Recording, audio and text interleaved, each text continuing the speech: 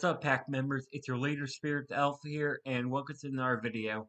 So, I know it's been a while since I've uploaded a video, and yeah, it's been like two months. My last video I made was my Ultimate Wolf Experience, and just three videos ago, I made a video called I'm Still Here, an update, which French I explained everything that was going on, where I mentioned my video camera broke and I got a new one.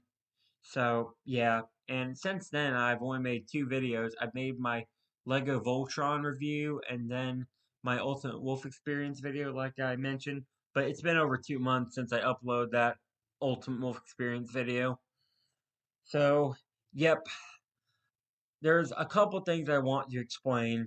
And I'm going to go and get the negative stuff out of the way first. And then I'll move on to the positive stuff. So, here's the negative side. The negative side was this while I do have a new video camera, it pretty much is a piece of junk. Like, obviously, I filmed the Voltron Lego review on that camera, and then I filmed my Ultimate Wolf Experience video on that camera. But I've tried to film other things with it, such as like other Lego tour reviews of actual minifigures and then video game videos. Well, it's safe to say that did not work out because I actually practice filmed with them or test filmed. And starting with the Lego reviews, the ga- the camera's like quality capture is pretty bad. It does not want to focus on like minifigures. So whenever I tried to look at like a minifigure, like detail or whatever, like the face specifically, the camera did not want to focus on the little details, so it pretty much looked like a blur, more or less, like a blurry face. And obviously, I'm not going to film dealing with that, so that's something. And so on and so on. Like, I imagine, like, if it wouldn't capture, like, low details like that, then I didn't want to do the entire review. Because obviously, y'all know, because you've seen me do my other Lego reviews where I showed off minifigures and whatnot you know that I can cap, you know that that my old camera can capture details. So I'm not gonna bring down the quality of my videos just because of a new camera that's being crappy. So that's one reason. And then the other reason, going to the video game side, pretty much that camera would just not work well for video game videos because two things. For once again, going back to quality, like it almost made the game look not really blurry, but too bright, where it did almost blur out the game images, and obviously I'm not going to have that. And then the second one was about the audio. Like, the audio capture was terrible. Like, you can barely hear the video game audio and stuff like that. So, yep. And obviously, again, I care a lot about the quality of my videos, so I'm not just gonna just like, yeah, let's film like that. I don't care.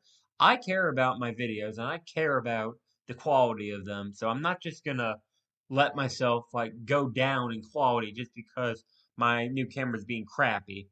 So yep, I'm definitely not gonna be filming videos with that camera anymore. So with the negative stuff out of the way, that's all the negative stuff. Now I'm gonna move on to the positive side of things. So the positive side is while that video camera is a piece of junk I'm not gonna film using it anymore, I actually do have good news. Obviously, I mentioned my old camera broke. Well, it turns out the problem was actually not the camera itself. It was more like the battery charging port, you know, where you'd plug in the charger to charge the camera. That's the part that was defective and it just would not charge with power or whatever. So, yeah, that was a problem. But I actually just got an external like charger for the battery itself, so I can remove the battery, put it on the external charger, and you know charge it like that.